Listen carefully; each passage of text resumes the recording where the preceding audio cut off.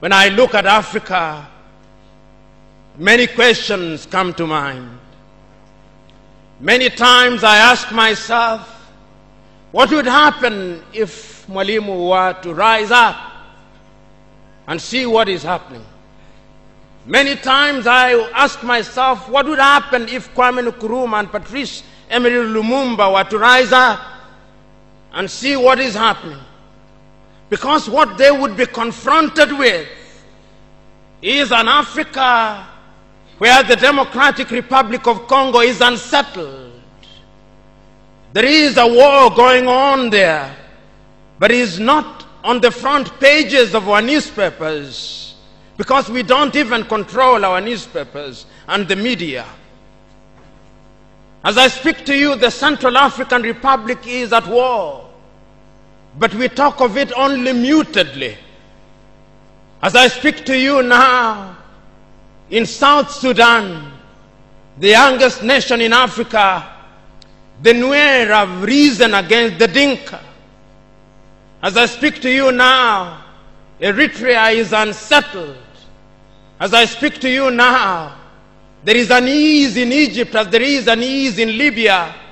In Niger, it is no better. In Senegal, in the Casamance, is no better.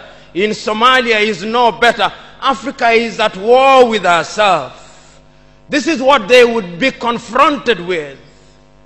They would be confronted with an Africa which statistician and romantic economists say is growing, but which in truth is stagnated. That is the Africa that they would be confronted with. They would be confronted with an African which, as Professor Mlama intimated in our presentation here, is an African which is suffering from schizophrenia. He does not know herself. They would be confronted with an African whose young men and women have no interest and low love for their continent.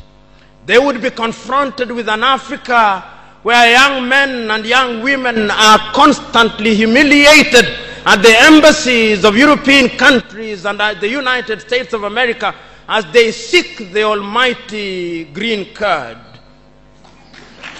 They would be confronted with an Africa where young men and women from Niger, Nigeria, Senegal, Mali, and Mauritania drown in the Mediterranean as they seek to be enslaved in Europe.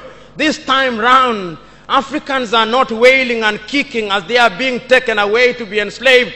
They are being seen wailing and kicking as they seek to be enslaved in Europe and America. This is the tragedy of Africa. They'll be confronted with an African where people have lost their self pride. An Africa where Africans are not proud of their things.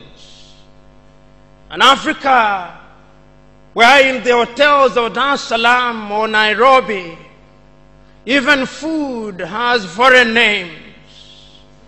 When we fry potatoes, we call them French fries, even when they are fried in Dar es Salaam.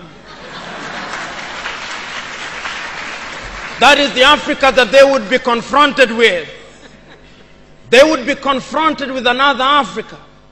An Africa which does not tell her story. An Africa whose story is told by Europe and America, the CNN, Radio Deutsche Welle, Radio France. That is the Africa they would be confronted with. They would be confronted with young men and women who have no pride in Africa. When they want to enjoy themselves, they sing the praises of football teams from Europe and America. It is Manchester United. It is Arsenal. It is Real Madrid. And Barcelona, not Yanga, not Mufulira Wanderers, not Gor Mahia, not FC Leopards. No. That is the Africa that they would be confronted with. They would be confronted with an Africa which does not enjoy theater and drama. That Africa celebrates Leonardo DiCaprio. It celebrates Angelina Jolie and Brad Pitt. The Africa does not celebrate Genevieve Nnaji of Nigeria or Rita Dominic or, or Lou Jacobs of Nigeria. It does not celebrate Bongo Wood or Nollywood or Riverwood. It celebrates Hollywood. That is the Africa with which they would be confronted. They would be confronted with African women whose greatest source of joy is cheap grade B Mexican soap uh, opera, La Patrona, La Mujer de mi Vida. The rich also cry. Why must we remind ourselves of these realities? Because throughout the ages, the battle has always been the battle of the mind. And if your mind is conquered, then you are going nowhere. And that is why in the ages of enlightenment in Europe, the great Rene Descartes said, cogito ergo sum, I think, therefore I am. And therefore, if Africans are to begin to make a contribution in their affairs, Africans must begin to think.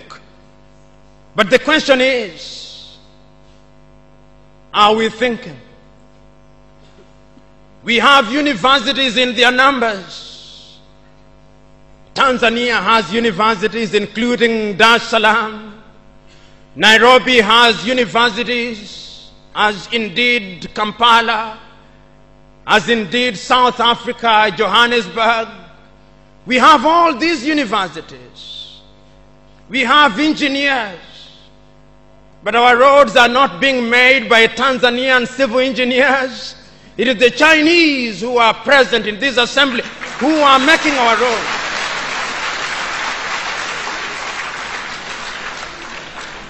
So we have engineers who cannot even make roads. We have doctors whom we have trained. But when we are sick, particularly if we are of the political class, depending on who colonized you. If you are colonized by the United Kingdom, you rush to London. If you are colonized by the French, you rush to Paris. If you are colonized by the Portuguese, you rush to Lisbon. And if you are colonized by the Spaniards, you rush to Madrid, Spain.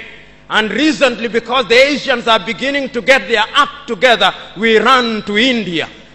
And very lately, because the Arabs are also beginning to get their act together, we run to Dubai.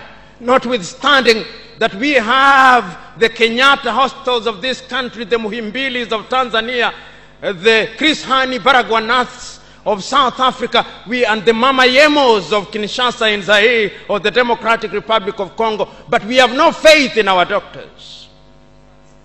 In the area of education, we also don't have faith. Our political class introduced something that they call free education, but is free indeed, free of knowledge. because they are so suspicious of those institutions that the typical African politician would not dare take their children to those schools. Their children will be educated in, in the British system, in the American system, so that when they graduate, they go to the United Kingdom, to the United States. Not that there is anything wrong with those institutions, but the agenda is wrong because our leaders long lost the script and ought to be described for who they are, our misleaders. But we are co-authors of our own misfortune. Whenever we are given an opportunity to elect our leaders, we are given a blank check. And if you permit me a little latitude, and if you give me a blank check, and you allow me to analogize, and you say that I'm given the blank check to buy a Mercedes Benz, what we do is that when we are called upon, having been so empowered, we buy what one calls a tuk-tuk from India and expect it to behave like a Mercedes Benz. How does that happen? Because what we do is to elect thieves. We elect hyenas to take care of goats, and when the goats are consumed, we wonder why.